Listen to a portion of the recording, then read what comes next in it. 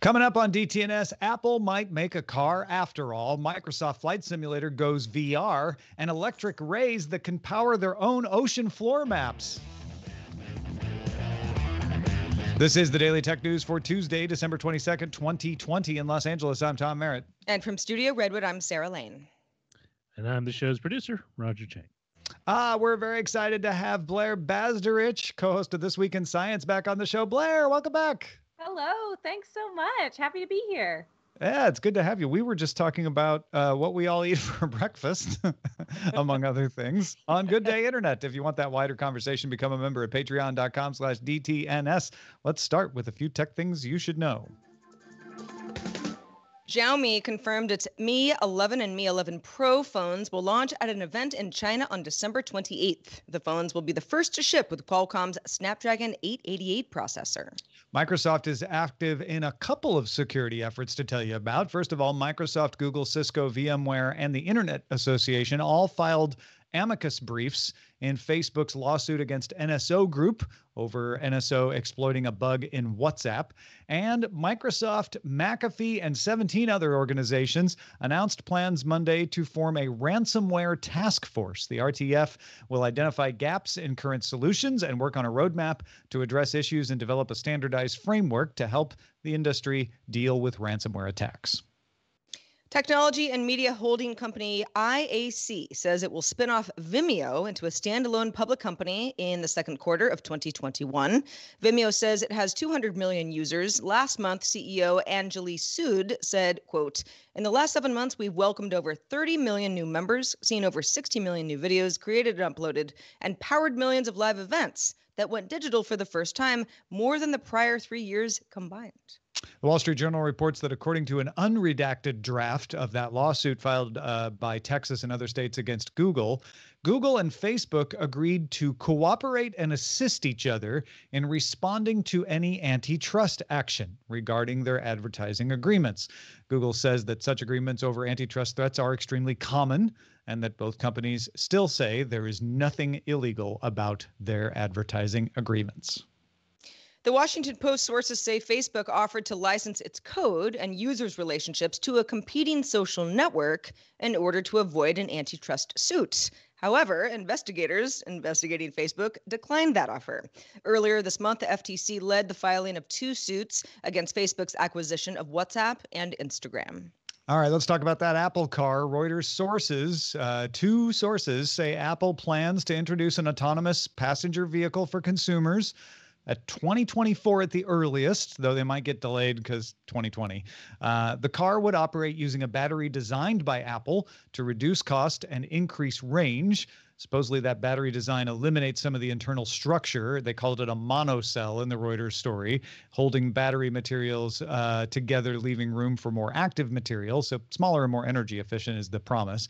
And Apple may be using lithium iron phosphate for its battery instead of lithium ion. Lithium ion is what you have in most of your phones out there.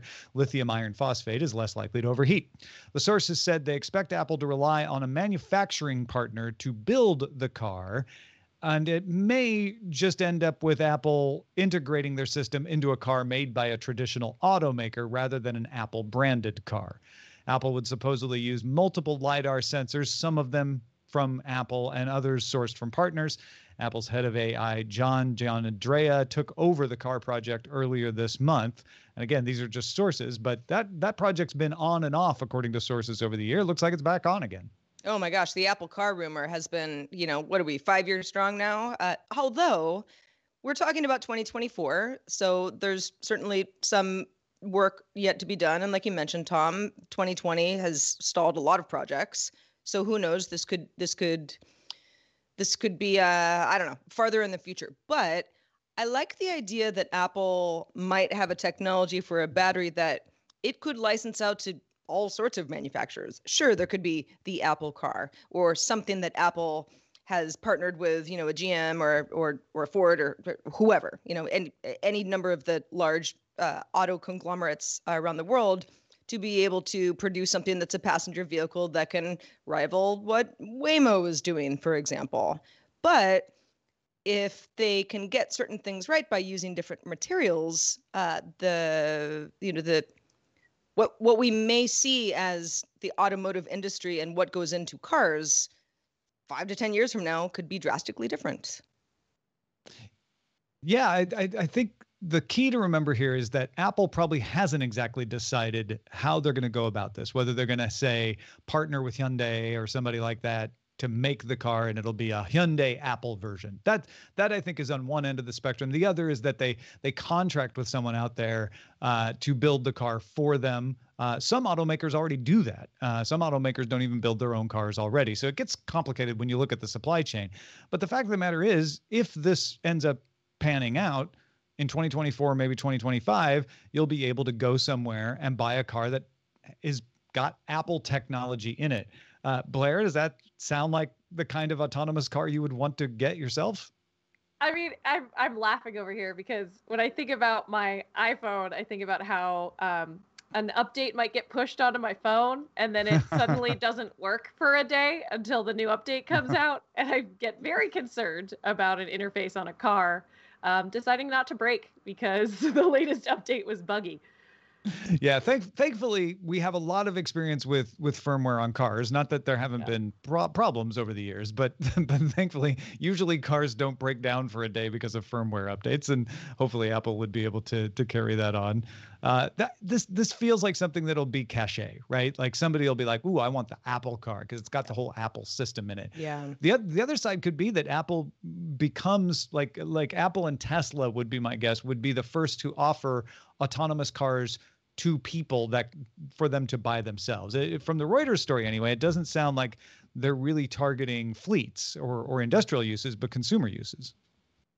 Yeah, that was the thing about the the idea of Apple having a manufacturing partner when you think of the iPhone, right? For, for you know, one of the best examples it's like, well, different companies put those iPhones together physically, but it's an Apple product. Would Apple be able to move that much merch on something that would clearly be a designer car. I mean, Teslas, even the cheapest models of Teslas, are mostly outside of anybody's budget. And I can't imagine Apple would be going into you know the the, the low cost uh, car market. It doesn't sound like a bargain yeah. car. No, it doesn't. And it's I mean, listen, I want to see this thing. Trust me, I want it to exist. But h- how many would you really be selling? Yeah, uh, well, they, they, they, in the Reuters article, they say they have to make at least a hundred thousand a year to start with, uh, and and Tesla took a long time to get to profitability. That's mm. why it sounds like maybe they're better off partnering with an automaker that can already kind of move them into the the supply chain. But yeah, uh, this is one we we won't know anything for sure for for years, and it may even evaporate and go away again. But it's interesting to think about. Indeed, it is. Also interesting to think about is flying in VR. Microsoft Flight Simulator is officially in VR. Asobo Studio, that's the company that developed the 2020 version of the app, has now added support for OpenXR compatible headsets, which include Windows mixed reality headsets. That includes the HP Reverb G2, also the Valve Index, HTC Vive, the Oculus Rift, and even the Oculus Quest if you're using a link cable to connect to a PC. Microsoft originally said that the VR feature would first arrive on the HP Reverb G2, so that's not untrue, but there are other platforms also available now. The beta test, which ran in October, does require a computer with an i5 8400 or Ryzen 5 1500X paired with a GTX 1080. These are not uh, things I have, so I can't try this yet, but I really want to. I mean, I, I I am not somebody who's involved in the flight simulator community. It's a whole community, and people are very enthusiastic. And I know just from looking them, and it makes sense to me that the idea of doing this in VR is kind of ideal. Uh, there's a whole hobbyist community built around making your cockpit to have your flight simulator in, but even then, you have to design it on one particular plane. Uh, or try to kind of design it towards a few of them, and it's not going to change. Whereas in VR, you're put inside the cockpit of whatever plane you're flying in VR, right. and it and it, and it adapts so you really do feel like you're flying. Yeah, you know, you look left, right. It's you're you're in the cockpit. Uh, again, this is not something that I've tried personally, and no idea how to fly a plane. I was always horrible at flight simulator. All I did was crash. Blair, I don't know if you ever if you ever played any iterations of of this app uh, growing up, but what do you what do you what do you make of VR and and flying planes? I, think it would be so fun because it's something I would never have the guts to do in real life. Um, I also wonder with all these um, kind of very specialized rigs for VR, if this is going to be the resurgence of arcades in our culture, um, you know, kind of after COVID, obviously. But it, I could totally see VR arcades where you'd have all these special um, setups for different opportunities that I would I would not buy VR equipment. That seems like way too heavy of an investment, but I would love to go pay for a session at a, a hmm. VR studio. Yeah, there were a few of those uh, getting getting off the ground, and and and the question was, would things like the Quest making it cheaper to do VR at home mean you wouldn't want to go to a place? And then, of course, we all locked down and nobody could go any places. Uh, so it'll be interesting to see if that bounces back. Hey, we mentioned some of the technology the U.S. stimulus bill will fund on Monday's show, uh, but also included in the 5,593 page bill uh, if that explains why we didn't get to everything yesterday, uh, are some penalties against copyright infringement that you might want to be aware of. For instance, one provision of the bill makes it a felony, not a misdemeanor, a felony to quote, willfully and for purposes of commercial advantage or private financial gain, offer or provide to the public a digital transmission service of unauthorized media, and it carries penalties of up to three years Five, if the person should have known that the work was being prepared for commercial or public performance, and 10 years for multiple offenses. Hey, you're talking about it, 10 years in jail. 10 years in prison. Yes. Yep. Penalties yep. of up to three years in prison, five years in prison, or 10 years in prison. It does not apply to users of a service, and the public knowledge believes it won't impact streamers who include unlicensed works as part of their stream. So it's targeted at I'm taking, you know, the NFL network and rebroadcasting it on my own service. That's who they're going after. It's mm. hard to tell from the language how it might be applied, though, because remember, copyright trolls will try to take what you wrote, and doesn't matter why you wrote it, and try to apply it to their own ends. The bill also includes the CASE Act, which creates a copyright claims board to be part of the U.S. Copyright Office. Uh, that claims board would rule on copyright claims and order payments of up to $30,000. Now, it's being compared to a small claims court, but it's not a court. It'll consist of claims officers, not judges. If a claim is filed against you, you must respond in a specific manner outlined in the law within a limited period of time, or you will be stuck with whatever penalty has been decided on. And this will make it easier to file cases. Again, the reason they're saying they want this law is to help smaller artists fight back against copyright infringement. Uh, but it does seem to favor companies with large amounts of lawyers as defendants. In fact, the Electronic Frontier Foundation warns that this could increase copyright trolling, the practice of filing a lawsuit against someone without the resources to fight it, so that you can either stick them with a penalty or get them to settle out of court because they can't afford to fight it. When this sort of got broken down in the first article that I read uh, late last night, I was like, hmm, there are times when someone's like, hey, want to watch this movie? I have it. And I'm like, yeah, sure. And I'm like, am I going to jail for three years? Even if I can like argue that I didn't really know what I was doing type thing.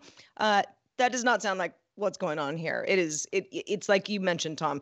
If I am you know, carrying an NFL stream willfully with the knowledge that I shouldn't do it and offering it to the public on some level and keeping money out of the hands of the original broadcaster, that is different. But it is ambiguous enough that I, I know a lot of people were kind of freaked out because there are lots of ways that people get information.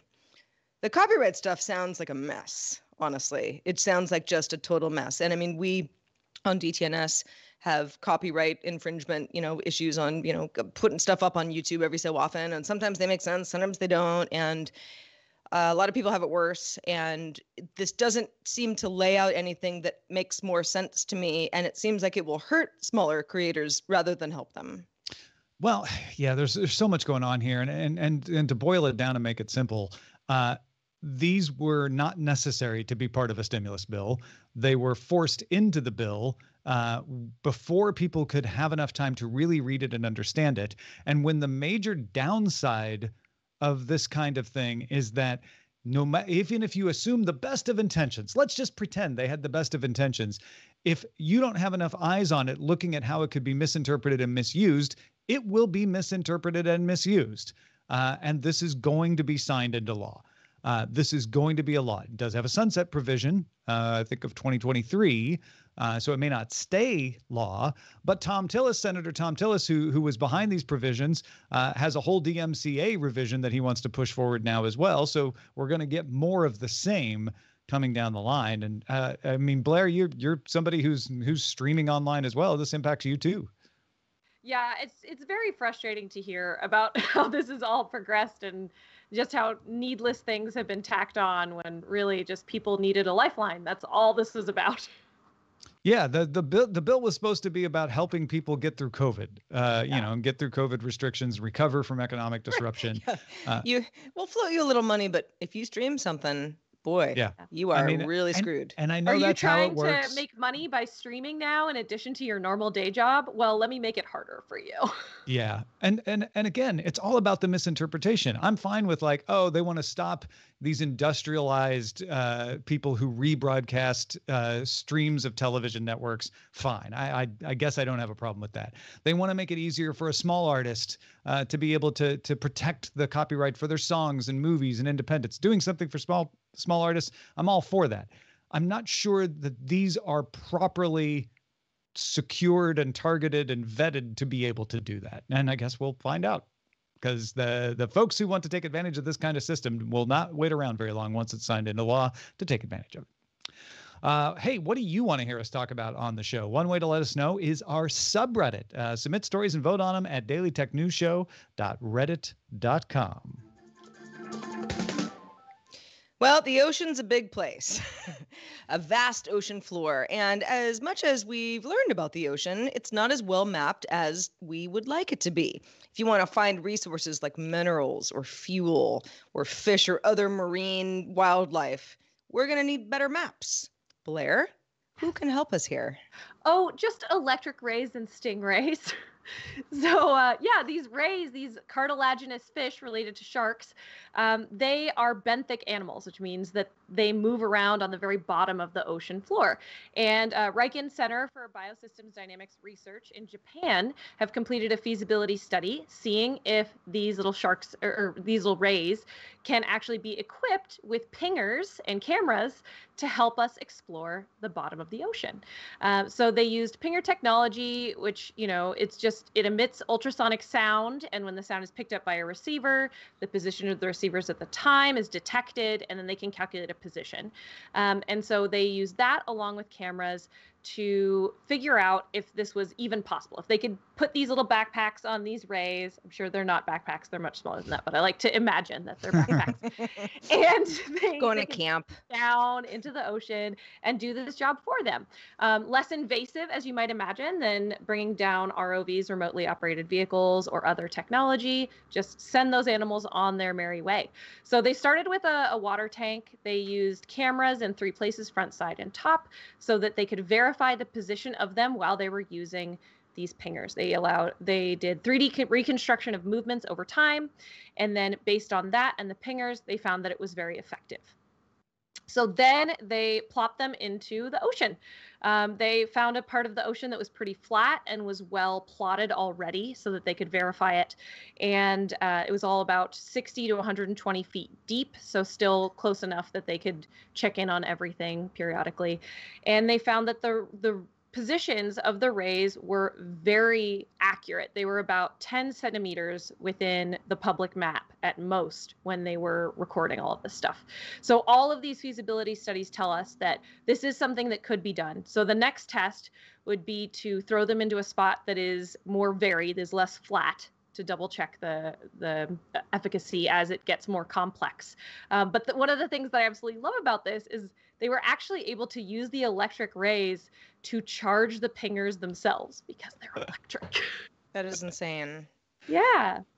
It's So like so they so they have enough charge in the electric rays that they could charge a battery. I mean, I, and I get it that these these are these are just the pinger that's getting charged, right? Not Yeah. the camera. So it probably draws very little current.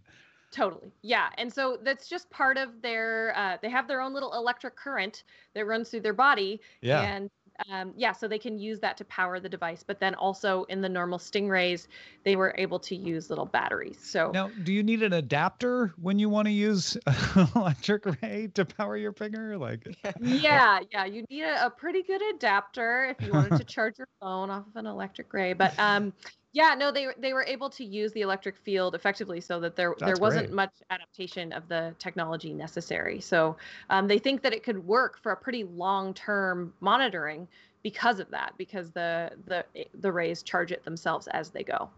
yeah. So, Blair, I know- Fantastic. I know that uh, you know a lot of the sort of mystery of the sea is because there is so much life so far down that yes, like an ROV, you can get you can get close, but it's pretty taxing. Uh, Yeah. It's hard to do, and there's a lot of wildlife that doesn't come back to the surface in any way. So you got to go down to even know what's happening. Are electric rays and stingrays known to be able to be on the surface, get a camera attached, all good, and then go down more than you know any other? Uh, uh, I don't know, somebody that lives in the sea. Yeah, yeah. So these guys aren't abyssal. So they're not going back down where like the blobfish lives. If you're thinking Mm, about that, the mhm. fish that looks normal and then you take it up to normal atmospheric pressure and it looks like a giant blob and a sad face. Um, so they're not going that deep, but they are going pretty far down, uh, several hundred feet down for sure. And so um, it's a good start. If there's there's other things that we could potentially do with this technology if you kind of if this proved really effective you could start to adapt it to try to use it on marine mammals, things like sea lions or elephant seals that go miles and miles and miles below the ocean. If you could find a way to to make it work for you for this use. But I think the thing that makes the rays so special here is that they really do just comb the bottom of the ocean. They are stuck Mhm. flat to the bottom. And so the Mm. pings are are really similar to the actual sea surface. So I think that's that's kind of the difference is they'd have to adapt it to be able to deal with the fact that an animal wasn't going flat against the seabed. Right. Because right. that Yeah. that is a huge challenge is is how do you bring a benthic animal, how do you bring an abyssal animal up to atmospheric pressure? So do you then do you send ROVs down with little packs, little backpacks and attach them while they're down there? Yeah, that's it's definitely it's five steps down the line, but interesting. Yeah, yeah. But and and and I, if people don't realize it, we we have not mapped the ocean floor very well. I don't know what the exact uh, comparison is, but what we know about the ocean is usually compared to what we know about the moon, which we've been to a couple of times. We're on top of the ocean all the time. We just don't go down to the bottom of it very often, or, or in all the places that we would need to to have a really good map. Yeah, Yeah. I think some people, depending, it depends how you measure it, of course, right? But I think some people like to say that we know more about our own solar system Mm-hmm. than we know about the ocean. Yeah, yeah. I mean, that's the kind of comparison you make, right? It's not like we know way more about land. Uh, we're we're so land centric, and most of our planet is water.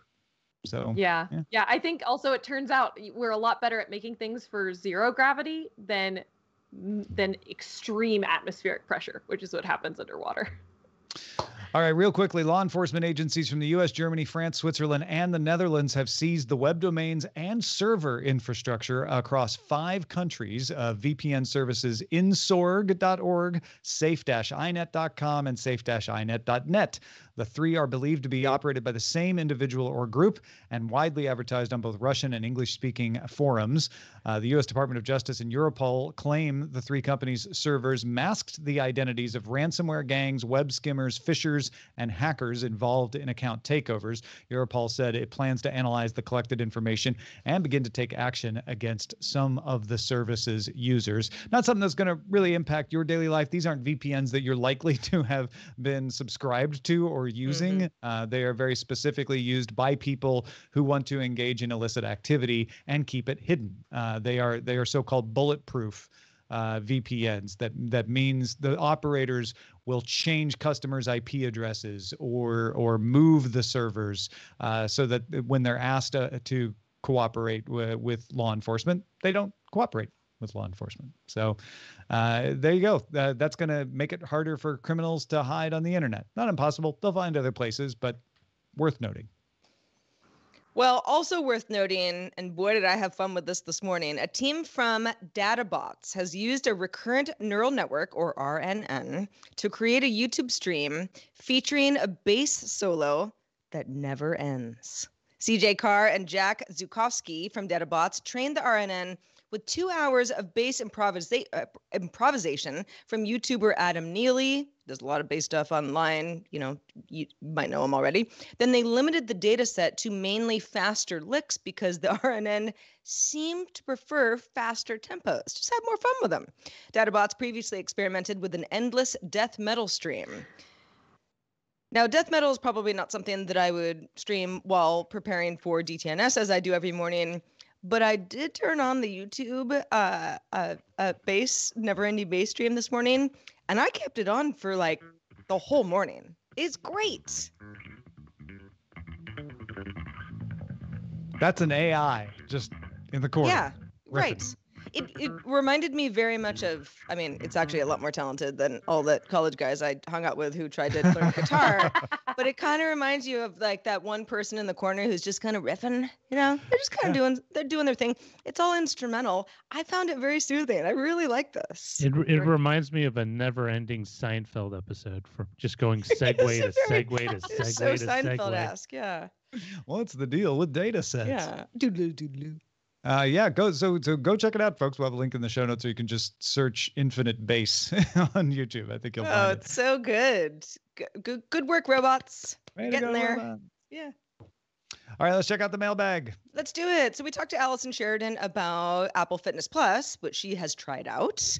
Uh, she's the only one of us who had, at least as of yesterday. David from Brisbane, Australia says, when it comes to tracking met- metrics during fitness, whatever the brand we're using, so it doesn't have to be Apple, any brand, it seems to assume that because we can track it, it must be important. I referee soccer and I attend referee fitness training. I was shocked when the person next to me said his heart rate was 140 BPM. Mine was 190. We were doing the same exercise. So shocked that I went to the doctor to see if something was wrong with me. She rolled her eyes and said I should stop looking at the metrics on my watch and that my max heart rate is my max heart rate. And if I'm sweating during exercise, I'm doing myself good and I'll be progressing in my fitness. She also pointed to several medications that I'm on. Those would increase my resting heart rate. David says, I love data and the insight it brings. And maybe some of the things our device, uh, devices are tracking are genuinely helpful. But I'm concerned that we're being led to pay too much attention to certain metrics because they're easy to track and feel scientific rather than because they're of any real benefit. I like to see independent research of these fitness programs before I put my money down. Yeah. Uh, the data is helpful if you know how to interpret it. The data itself doesn't mean anything on its own, right? Like yeah. that's the key with all of this stuff. And and I and I get what David is saying where you know, people push like, oh, look at all the data it collects, but that's not the end of the story. It's like, okay, now what do you do with that? Do you have a, uh, you know, a reliable way to interpret it? Is the service you're using to interpret it reliable? Maybe you need to consult with your doctor, as David wisely did here. So yeah, mm-hmm. that that that's all important stuff. Uh, I mean, yeah, it's cal it's calorie counting is important too, right? But you can't just have 2,000 calories every day. Every person is different. Also, if you have 2,000 calories of cookies, or if you have 2,000 calories of salad and mm-hmm. eggs and bread, yeah. that's a very different count, but it's the same data. Yeah, totally. I, I don't think that collecting the data is bad. I just think that David's making a very important, and I don't think David's saying that either, just a very important point of that's not the end. It's not just I got the data. It's, you know, making sure you have a good, reliable way to interpret it. Indeed. Well, if you have feedback on anything that we talk about on any of our shows or stuff that you'd like us to talk about, or questions or comments or cat photos, feedback at dailytechnewsshow.com is where to send those emails. You can also shout out our patrons along with us today. Master Grandmasters include Pat Sheeran, John Atwood, and Daniel Dorado. Thanks to all. Also, thanks to Blair Bazdarich for being with us today. Blair, what's been going on in your world since we saw you last? Oh, you know, we're just about to uh, count down to our 10 uh, most important stories of 2020 on This Week in Science. That'll be next Wednesday. Um, and then also, yes, I see Tom has his. We have This Week in Science, Blair's Animal Corner Yay. calendar. Oh, that's so, so cute I realize you probably didn't use your calendar this year at all, but let's hope that we can use them in 2021. Um, and so there's fun uh, animals. Here's a giraffe weevil for uh, May. But yeah, those are available at twist.org. Just click on the picture of the horned frog on the homepage. You can Yeah. buy one or The- 10. The white sturgeon I particularly like. I, looking forward to June. I worked with a white sturgeon named Lenny. He was my- Really? yeah, he's my No. inspiration for that one. well, thank Lenny for me. Oh, I Uh, hey, folks, uh, we have some stuff for you as well. If you stick around with us, uh, we're offering Patreon loyalty rewards. Patreon has a new ongoing program. It doesn't end after three months every more anymore. You get something every three months. They have to be at the right level, uh, but you can get a unique sticker, a mug, a T-shirt, or a hoodie every three months as long as you stay a patron. That's not all levels, but if you're at the level that has that, you'll get either a unique piece of art from Len Peralta with the DTNS seven year anniversary logo, or three months after that one with Roger in it, three months after that one with Sarah in it, after that one with me in it. Uh, you can get all the details about the levels and the art at patreon.com slash DTNS. We're live Monday through Friday at 4:30 p.m. Eastern, 21:30 UTC. And you can find out more at DailyTechNewsShow.com/slash/live. We are back tomorrow, rolling right into Christmas week with Scott Johnson. Talk to you then.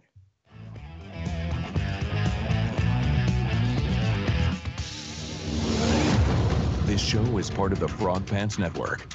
Get more at frogpants.com. Diamond Club hopes you have enjoyed this program.